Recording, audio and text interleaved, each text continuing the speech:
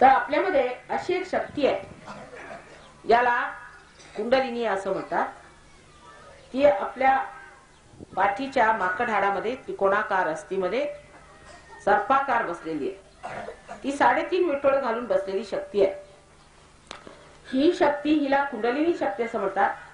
आणि अनादी काळापासून हिचं वर्णन आपल्यामध्ये दत्तात्रयांनी वगैरे केलेलं आहे. इतके पुष्कळशा पुस्तकांमध्ये म्हणजे मार्कंडेय जे चौदा हजार वर्षापूर्वी झाले त्यांनी सुद्धा या कुंडलिनीचं वर्णन केलेलं आहे. जे देवी महात्म्य व देवी पुराण वगैरे त्यांनी लिहिलंय त्याच्यामध्ये त्यांनी कुंडलिनीचं वर्णन केलेलं आहे. ही शक्ती आपल्यामध्ये झोपलेली असते. कारण ही शक्ती म्हणजे आपली शुद्ध इच्छा आहे आपली खरी इच्छा आहे. आता आपल्याला असं वाटतं की आपली खरी इच्छा म्हणजे आज असं वाटेल कुणाला की बा आम्हाला एक घर असलं म्हणजे झालं. तसं नसतं. घर झालं म्हणजे मग तुम्हाला काहीतरी वाहन पाहिजे. वाहन झालं की मग मुलं पाहिजेत. मुलं झालं की दुसरं पाहिजे. तेव्हा जी शुद्ध खरी इच्छा आहे ती कोणची?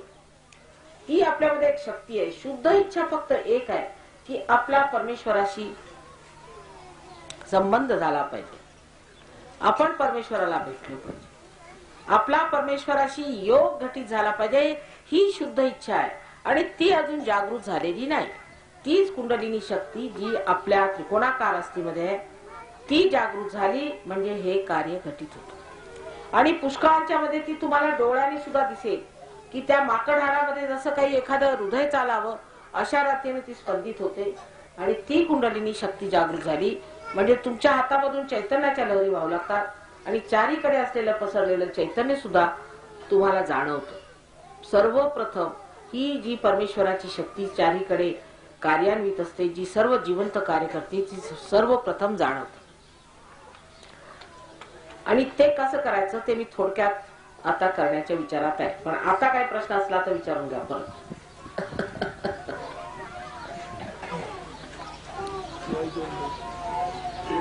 विचारा विचारा विचारलं पाहिजे. म्हणजे काय की तुमचं लक्ष आहे तिकडे माझा हे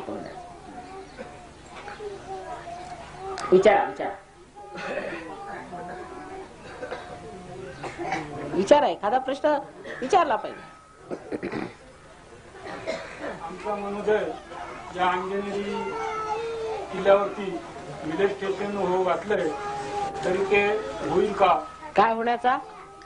विलेज स्टेशन जवळ हनुमान मंदिराकडे जाण्या येण्याकरता रस्ता आणि वाहनाची व्यवस्था ही होण्याकरता एक प्रश्न मांडलेला आहे. तर ती आमची इच्छा पूर्ण होईल का? अर्थात होईल. पण तो काही फार मोठा मोठी गोष्ट नाही. हनुमानाकडे जाण्याची रस्ता होईल तुम्हाला माहीत नाही हा देशामध्ये पुष्कळ येणार आहे. पण त्याने तुमचं समाधान मात्र होणार नाही. हे मुख्य सांगायचं. रस्ता होईल सगळं काही होईल. कदाचित आमचा एखादा इथे आश्रम सुद्धा होऊन जाईल. काहीतरी होईल पुष्कळ होईल. पण त्याने समाधान होणार आहे. समाधान परमेश्वराला मिळवल्या होणार आहे. म्हणजे काय होईल? सगळ्यात मोठी गोष्ट म्हणजे सर्व व्यसन तुमची सुटणार. हनुमाला मिळवण्यासाठी पहिल्यांदा व्यसन सुटायला नकोत का? अहो तर आपण सगळी व्यसनं घेतो तर हनुमान कसा आपल्याला प्रसन्न होईल? आणि देवळात जाऊन तरी देवळापर्यंत जायचे पाय तोडायचे आणि शेवटी काय मिळणार? तेव्हा मी परमेश्वराकडनं एक प्रश्न विचारते की आधी आपली व्यसन वगैरे सुटायला नकोत का? परमेश्वराचा आशीर्वाद मिळवण्यासाठी आपल्यामध्ये सुद्धा त्याची क्षमता नको का?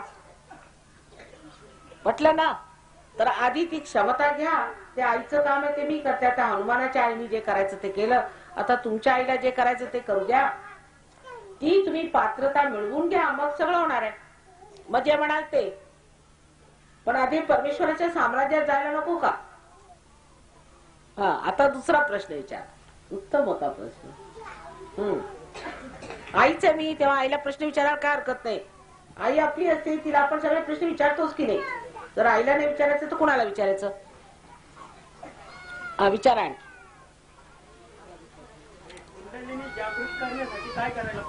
हो त्या बरोबर प्रश्न आहे. ते मी करणार आहे ते सांगते. पण बाकी बरोबर ह्यांनी बरोबर प्रश्न विचारला. हा साधकाचा प्रश्न आहे.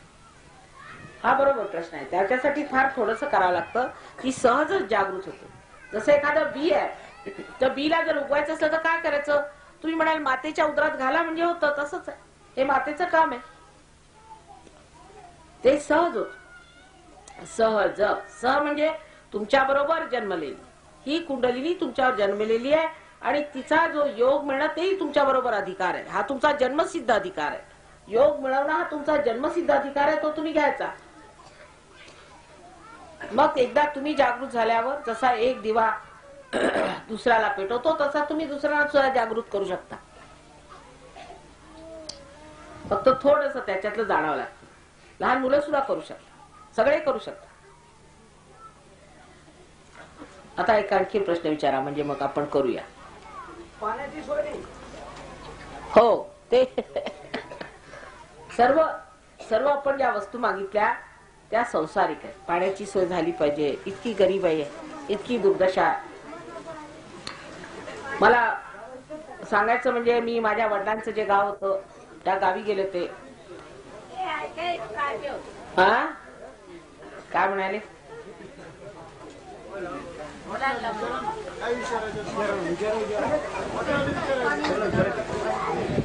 काय पाहिजे? सांगा. काय म्हणाल्या? त्यांची भाषा. लागला पाहिजे. दुसऱ्याबद्दल आपुलकी कशी? आहे हा माणसाचा जो आहे. हा कसा बरोबर. आणि दुसरी गोष्ट माणसाने दुसऱ्या माणसाबद्दल आपुलकी कशी? आहे? बरोबर. आहे. फार छान प्रश्न विचारला. ह्यांचा म्हणजे धार्मिक प्रश्न आहे की आपल्याला एक दुसऱ्याबद्दल प्रेम कसं वाटलं पाहिजे? आणि हा तमोगुण आहे त्याच्यामुळे आपल्याला एक दुसऱ्याबद्दल प्रेम वाटत वाटत नाही हे रजोगुणामुळे. रजोगुण माणसं जी येतात ती बाणकुदळ असतात. तेव्हा हे कसं होत? आता चौदा देशात लोक आले. तुमच्यासाठी प्रेम घेऊन आले. तुम्हाला भेटायला आले. पण तुमचा एकोपा नाही. त्याला कारण काय? आता बघा हे बोट आहे माझं.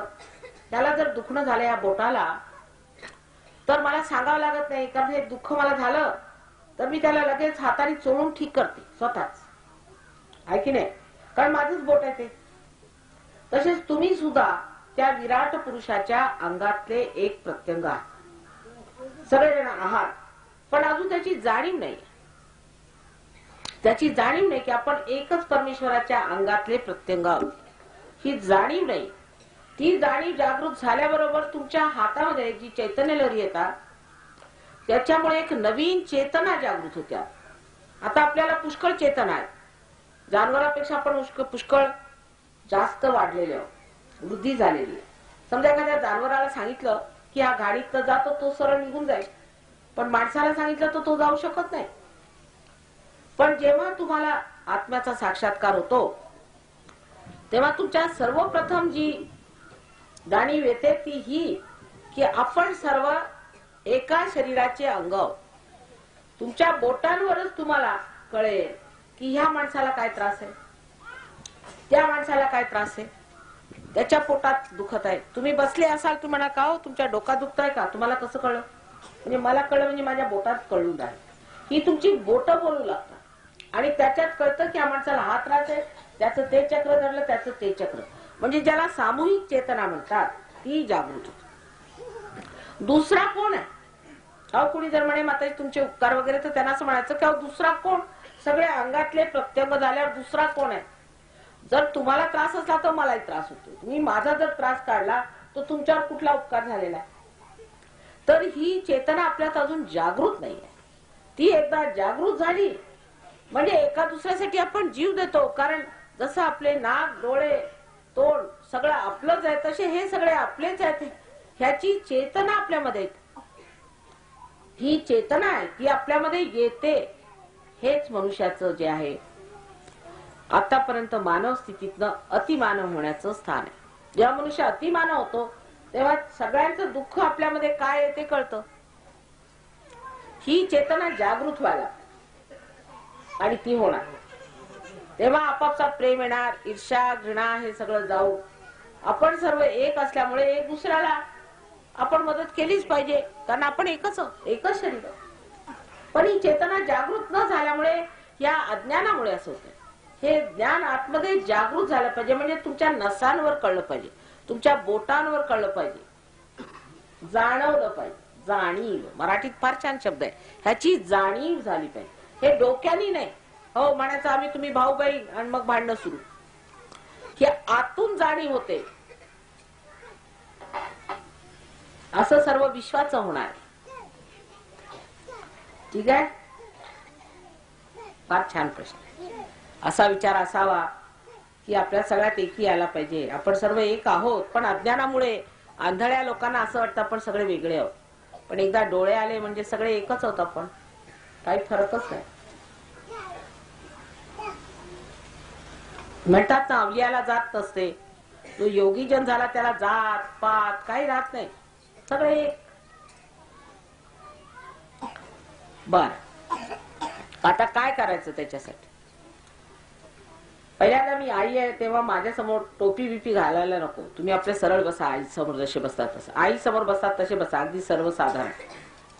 काही त्याच्यामध्ये अपरोधिकता नको अगदी साधेपणाने बसायचं. आई समोर आपण कसे बसतो हा विचार आधी ठेवला पाहिजे आम्ही आमच्या आई समोर बसतो आईशी जसा आपलेपणा आहे तसा आपलेपणा प्रेमाचा ठेवला पाहिजे. आमचं सर्व कार्य प्रेमाचं आहे. तेव्हा अगदी प्रेमाने बसलं पाहिजे. हा. आता फक्त दोन्ही हात असे ठेवायचे मांडीवर आरामात आरामात ठेवायचे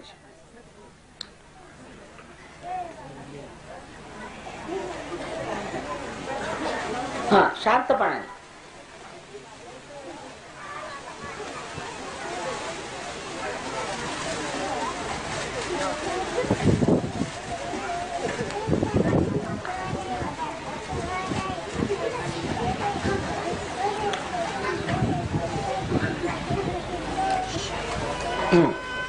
आणि आता डोळे मिटून जायचे. सगळ्यांनी डोळे मिटा. हसायचं नाही. हे बघा त्यानीच होणार नाही. हे असले यांनी होणार नाही. थोडं शांतपणाने परमेश्वराच्या गोष्टी करतो ना आपण. डोळे मिट. डोळे मिटून बस. डोळे मिटण्यामध्ये एवढा कष्टासारखं काय आहे बरं? हे जे हे आहे ना आपल्या खेडेगावातलं त्यांनीच होत नाही काम खेडेगावात. नाही तर तसे फार चांगले आहात तुम्ही. पण थोडी अक्कल कमी पडते कधी कधी. हा डोळे मिटून बस. डोळे मिटल्याशिवाय काम होत नाही कारण आतून ही कुंडलिनी जागृत होते. आणि जेव्हा ती जागृत होते तेव्हा आपले डोळे जर बंद नसले तर हे कार्य होत नाही. तुम्हाला आशीर्वाद पाहिजे ना? आपण देवासमोर जाऊन डोळे मिटतो ना मुलींनी तसं करायचं नाही. डोळे मिटा. हा डोळे मिटून बसा. विशेषतः बायकांना आणि मुलांमध्ये फार त्रास. डोळे मिठा तुम्हाला आशीर्वाद पाहिजे ना मग पर म्हणायचं आणि परमेश्वरासाठी डोळे सुद्धा मिटता येत नाही म्हणजे कमाल आहे. हा. हसू नका.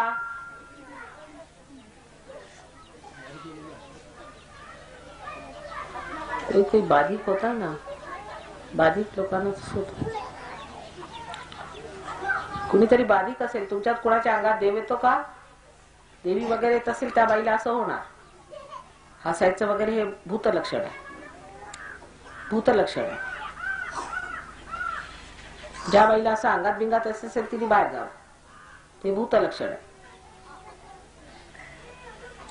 हा आता दोन्ही हाताशी करा डोळे मिठा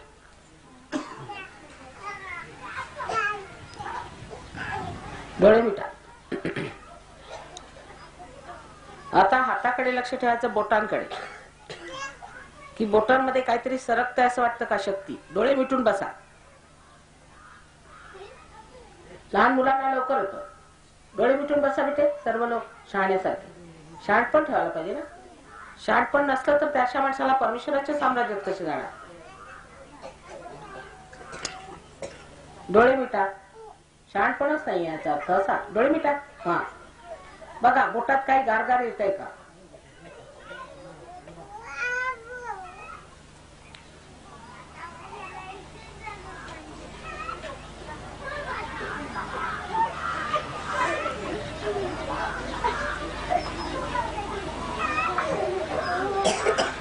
बोटांकडे लक्ष ठेवा.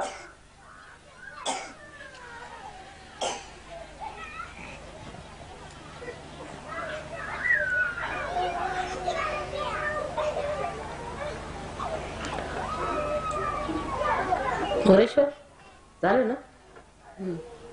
डोळे मिटून ठेवा. आता बघा डोक्यावर इथे टाळूवर बघा काहीतरी गार येते का? तुमच्याच टाळूवर बघा येते का गार?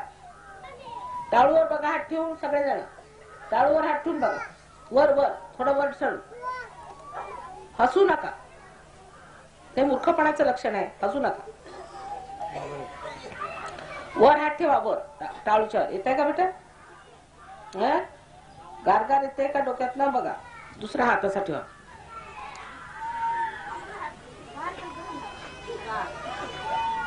येत आहे का? एक एक हात ठेवा. एक हात. उजवा हात माझ्याकडे डावा हात इथे. आलं पाहिजे. हसू नका एक दुसऱ्यांना बघू नका त्यावेळेला जरास लक्ष द्या. जर वर डोकं वर डोक्यावर जरा वर धरा. चार पाच इंच. हम्म. बघा इकडे बघा आता परत येत आहे का? गॉट इट बघा आता. परत उजवा हात ठेवा. डावा हात माझ्याकडे करा डावा हात. उजवा हात वरती ठेवा. डावा हात माझ्याकडे उजवा हात वर. वर वर वर. डोक्याच्या वर धरायचा हात म्हणजे कळेल डोक्यातनं टाळूच्या वर धरायचा. वर अधांत्री. अधांत्री धरा वर. चिकटून नको. आता बघा समोर सरकून बघा येत का? टाळूवर बघा टाळूवर आलं का? येत आहे का? जरा वर धरा.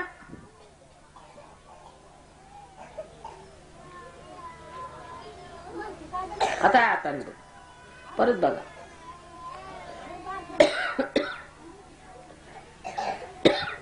झालंय बहुतेकाची पार झाले.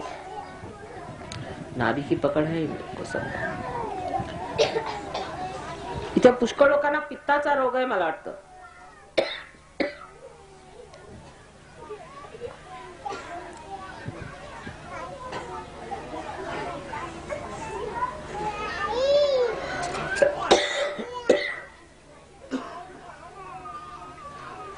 आहे का डोक्यावर हात घ्या.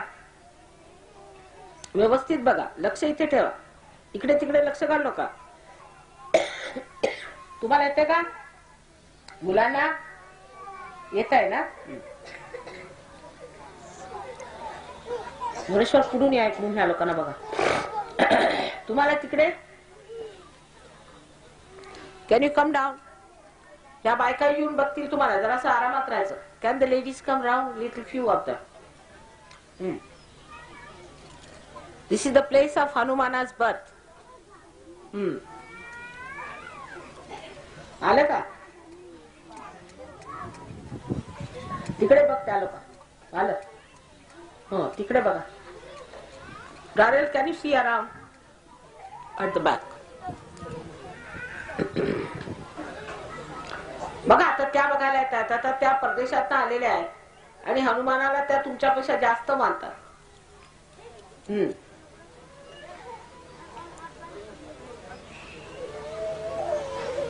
बरोबर मला वाटलं सर्वांना झालेलं आहे पण ही इतकी पावनभूमी आहे ते व्हायलाच पाहिजे. हा बघा येत आहे का?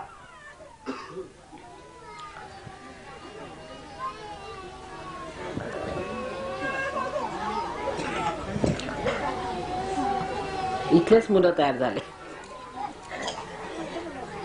इथले दोन चार मुलं घ्या त्यांना समजावून सांगा. येत आहे का आता? तिकडे बघा. हा. आता माझ्याकडे बघा आणि विचार करू नका. विचार करायचा नहीं. विचार न करता. निर्विचार तो हो गए सब. बहुत विलेज में बहुत जल्दी पार होते हैं. अभी इसका इफेक्ट्स इतने आ जाते हैं जल्दी लोगों में. उनको समझ में भी नहीं आता क्या होगा. इतने बोले वाले पार हो जाते खट से हम्म. तुमचं आलं झालं का इकडे? झाले?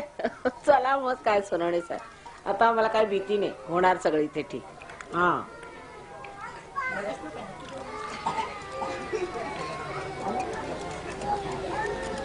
यहाँ कोई पानी वानी नहीं है क्या? यहाँ नदी नहीं है नदी बगल कौन सी नदी? हाँ? इरिगेशन टँक इथं अंजनेरीला होतीये. हा. त्यामुळे पाण्याचं हे होईल. सर्क्युलेशन होईल. विहिरीनं पाणी येऊन जाईल. असं. पाझर तलाव. इरिगेशन टँक आहे मायनर इरिगेशन टँक मोठं आहे मायनर इरिगेशन त्यामुळे त्या यालाही पाणी देता येईल आणि विहिरीलाही पाणी येईल. It will be percolated percolate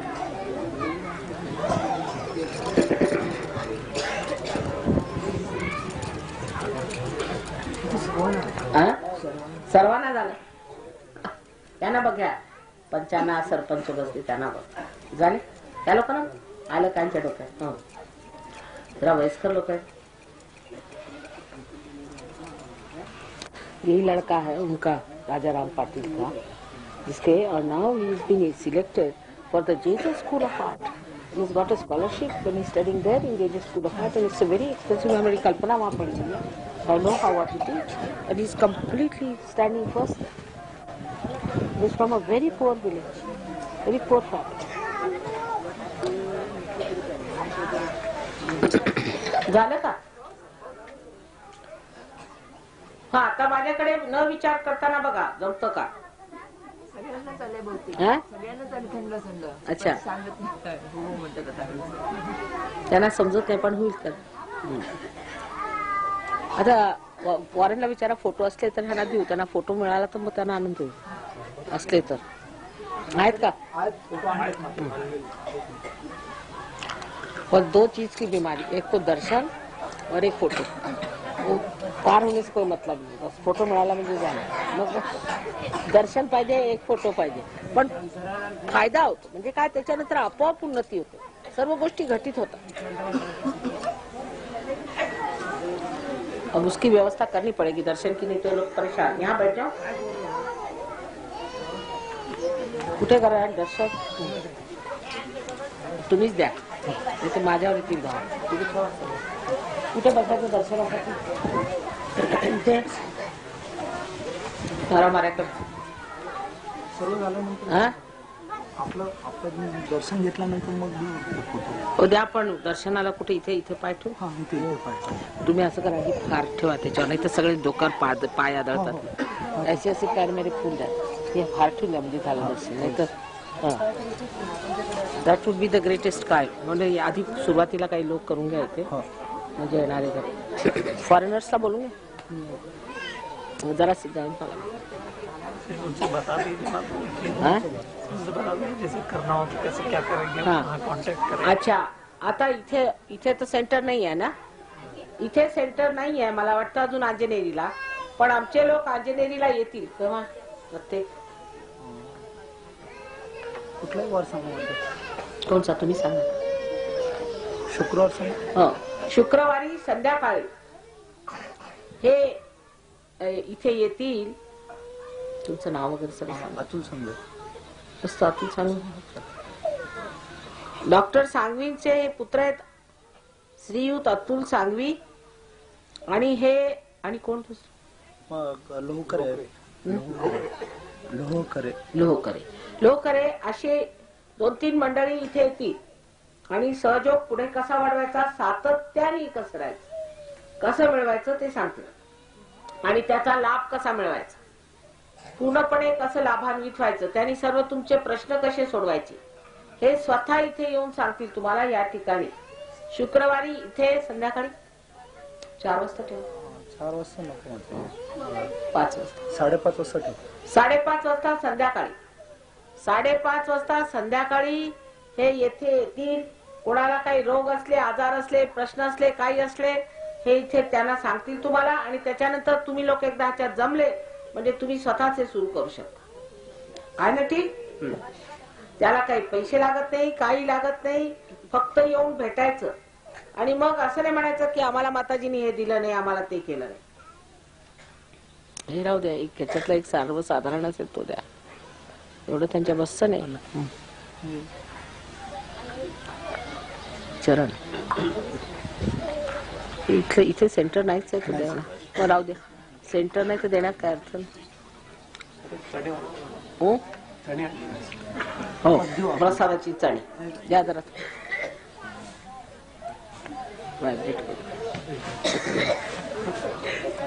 हातात घालून पायात हात घाल.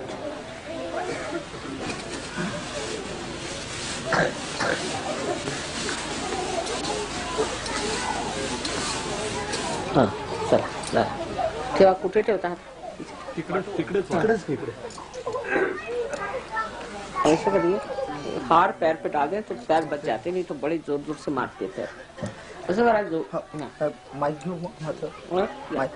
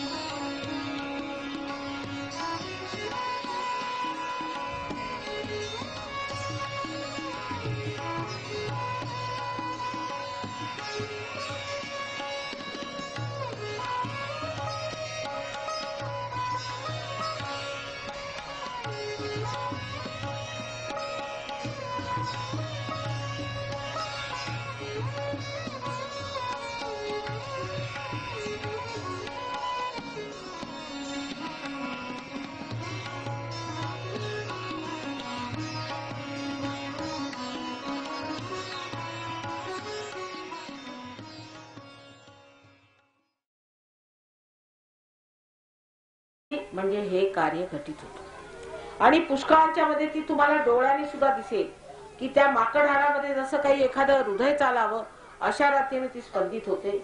आणि ती कुंडलिनी शक्ती जागृत झाली. म्हणजे तुमच्या हातामधून चैतन्याच्या लहरी वाहू लागतात.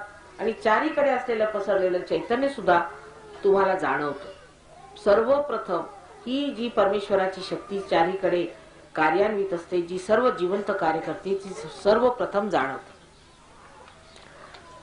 आणि ते कसं करायचं ते मी थोडक्यात आता करण्याच्या विचारात आहे. पण आता काय प्रश्न असला तर विचारून घ्या परत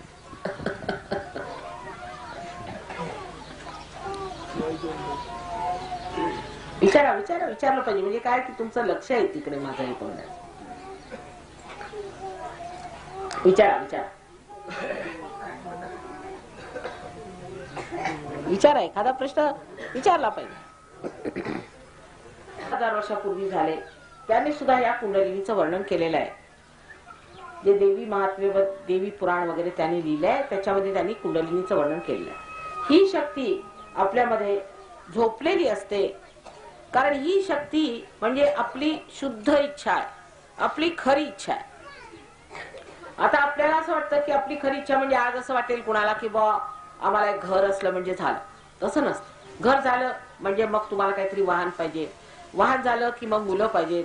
मुलं झालं की दुसरं पाहिजे. तेव्हा जी शुद्ध खरी इच्छा आहे ती कोणची? ती आपल्यामध्ये एक शक्ती आहे. शुद्ध इच्छा फक्त एक आहे की आपला परमेश्वराशी संबंध झाला पाहिजे. आपण परमेश्वराला भेटलो पाहिजे. आपला परमेश्वराशी योग घटित झाला पाहिजे ही शुद्ध इच्छा आहे. आणि ती अजून जागृत झालेली नाही. तीच कुंडलिनी शक्ती जी आपल्या त्रिकोणाकार अस्थिमध्ये आहे ती जागृत झाली. आमचा मनोदय या अंजनेरी किल्ल्यावरती विलेज स्टेशन हो घातलंय तरी ते होईल का? काय होण्याचा? विलेज स्टेशन जवळ हनुमान मंदिराकडे जाण्या येण्याकरता रस्ता आणि वाहनाची व्यवस्था ही होण्याकरता एक प्रश्न मांडलेला आहे. तर ती आमची इच्छा पूर्ण होईल का? अर्थात होईल. पण तो काही फार मोठा मोठी गोष्ट नाही. हनुमानाकडे जाण्याची रस्ता होईल. तुम्हाला माहीत नाही हा देशामध्ये पुष्कळ येणार आहे. पण त्यांनी तुमचं समाधान मात्र होणार नाही. हे मुख्य सांगायचं. रस्ता होईल सगळं काही होईल. कदाचित आमचा एखादा इथे आश्रम सुद्धा होऊन जाईल. काहीतरी होईल पुष्कळ होईल. पण त्याने समाधान होणार आहे. समाधान परमेश्वराला मिळवल्या होणार आहे. म्हणजे काय होईल? सगळ्यात मोठी गोष्ट म्हणजे सर्व व्यसनं तुमची सुटणार. हनुमाला मिळवण्यासाठी पहिल्यांदा व्यसन सुटायला नकोत का? अहो तर आपण सगळी व्यसनं घेतो तर हनुमान कसा आपल्याला प्रसन्न होईल? आणि देवळात जाऊन तरी देवळापर्यंत जायचे पाय तोडायचे आणि शेवटी काय मिळालं तेव्हा मी परमेश्वराकडनं एक प्रश्न विचारते की आधी आपली व्यसन वगैरे सुटायला नकोत का? परमेश्वराचा आशीर्वाद मिळवण्यासाठी आपल्यामध्ये सुद्धा त्याची क्षमता नको का? म्हटलं ना तर आधी ती क्षमता घ्या. ते आईचं काम आहे ते मी करते. त्या हनुमानाच्या आईने जे करायचं ते केलं. आता तुमच्या आईला जे करायचं ते करू द्या. ती तुम्ही पात्रता मिळवून घ्या. मग सगळं होणार आहे. मग जे म्हणाल ते. पण आधी परमेश्वराच्या साम्राज्यात जायला नको का? हा आता दुसरा प्रश्न विचार. उत्तम होता प्रश्न. हम्म. आईच मी तेव्हा आईला प्रश्न विचारायला काय हरकत नाही. आई आपली असते तिला आपण सगळे प्रश्न विचारतोच की नाही? जर आईला नाही विचारायचं तर कोणाला विचारायचं?